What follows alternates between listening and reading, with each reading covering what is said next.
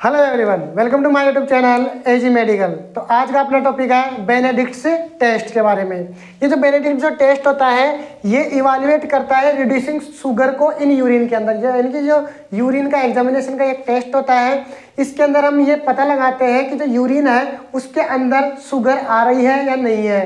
यानी शुगर को इवालुएट करने के लिए टेस्ट किया जाता है। तो आइए देखते हैं इसकी definition Benedict's test evaluate the presence of reducing sugar यानी कि जो बेनेडिक्ट्स का टेस्ट होता है, ये ओनली कौन सी शुगर को इवालुएट करता है? रिड्यूसिंग शुगर को इवालुएट करता है। जैसे कि कौन कौन सी हो गई?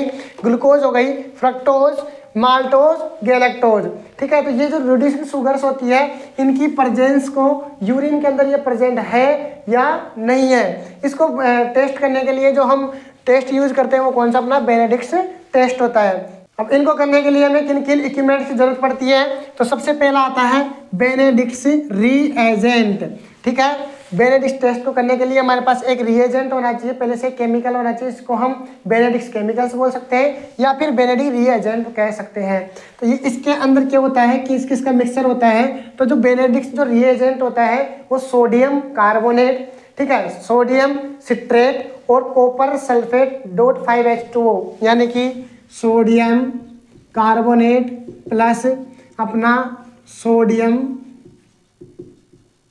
सिट्रेट और कॉपर सल्फेट पेंटाहाइड्रेट यानी कि जो कॉपर सल्फेट है उसके साथ फाइव एच टू है ना? तो इन सब का जो मिक्सचर है, इसको हम बोलते हैं बेनेडिक्ट्स रीएजेंट जो कि सबसे इम्पोर्टेंट होता है इस टेस्ट के लिए। इसके अलावा और क्या इक्विपमेंट चाहिए? आपको चाहिए एक यूरिन सैंपल जिस पेशेंट का आपको टेस्ट करना है, उसका यूरिन सैंपल हमें कलेक्ट करना है। नेक्स्ट वन हमें क्या चाहिए? पिपेट चाहिए, जिससे हम उस सैंपल को लेके ठीक है टेस्ट ट्यूब में डाल के इस टेस्ट को हम प्रोसीजर को आगे फर्दर आगे फॉलोअप कर पाए। तो पिपेट होनी चाहिए। इसके अलावा क्या होनी चाहिए? हमारे पास टेस्ट ट्यूब्स होनी चाहिए। तो इन इक्विपमेंट के थ्रू हम क्या करेंगे? इस टेस्ट को आगे फॉलो करते हैं। नेक्स्ट हम देखते हैं प्रिंसिपल्स ये जो टेस्ट है, ये किस प्रिंसिपल पे काम करता है? इसका प्रिंसिपल क्या है? तो देखते हैं। Reducing sugar like glucose are capable of reducing copper sulphate to red copper sulphate when boiled in alkaline condition यानी कि ये क्या करता है कि अपनी जो रिड्यूसिंग शुगर है, ठीक है ग्लूकोज हो फ्रक्टोज हो माल्टोज या गैलेक्टोज कुछ भी हो, कोई सी भी जो रिड्यूसिंग शुगर है, ये क्या करेगी? अपना जो कॉपर सल्फेट है, इसको रिड्यूस कर देगी, इसको कन्वर्ट कर देगी, किसके अंदर? कॉपर ऑक्साइड के अंदर कन्वर्ट कर देगी। लेकिन कंडीशन क्या होनी चाहिए कि ये जो सारी की सारी जो रिएक्शन है, ये एल्कलाइन मीडियम में होनी चाहिए। ठीक है? तो इसका प्रिंसिपल को अगर मैं इसकी इक्वेशन बनाऊँ तो जो अपना कॉपर सल्फेट है, ठीक है इसको ये किसमें कन्वर्ट कर देगी? कॉपर ऑक्साइड के अंदर कन्वर्ट कर देगी। अगर मान लो यूरिन के अंदर रिड्यूसिंग शुगर प्रेजेंट है तो रिड्यूसिंग जो शुगर है, वो कॉपर सल्फेट के साथ रिएक्शन करेगी। रिएक्शन करते ही इसको किसमें कन्वर्ट कर देगी? कॉपर ऑक्साइड के अंदर कन्वर्ट कर देगी।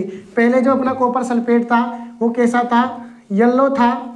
लेकिन बाद में वो जो है, वो कैसा हो जाएगा? ब्रिक कलर का हो जाएगा।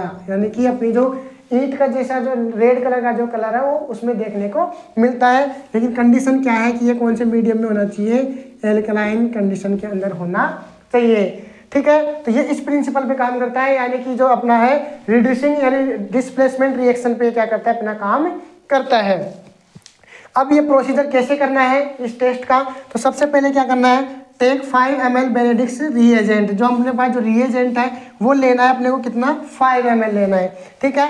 And added to it zero point five M L या हम कह सकते हैं eight drop of protein free urine आपको पाँच एम एल जो है बेनेडिक्स रिएजेंट लेना है, और इसको मिक्स करना है किसके साथ? Zero point five M L urine के साथ। या फिर अगर आप मेज़रमेंट ना कर पाओ तो आपको कितनी ड्रॉप लेनी है? एट ड्रॉप जो पिपेट से हम ड्रॉप लेंगे तो एट ड्रॉप आपको क्या करना है? प्रोटीन फ्री जो यूरिया है सॉरी यूरिन है उसको मिक्सअप करना है किसके साथ?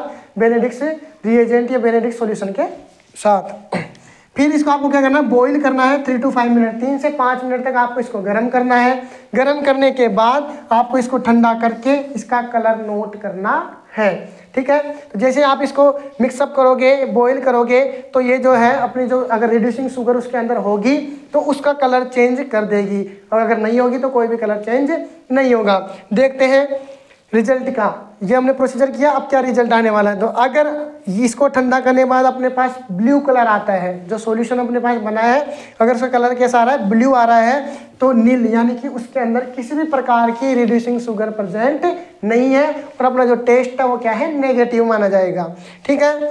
अगर कलर कैसा आ रहा है? ग्रीनिश कलर आ रहा है तो रिड्यूसिंग शुगर उसके अंदर है, लेकिन स्मॉल अमाउंट में यानी बहुत कम मात्रा में रिड्यूसिंग शुगर यूरिन के अंदर प्रेजेंट है।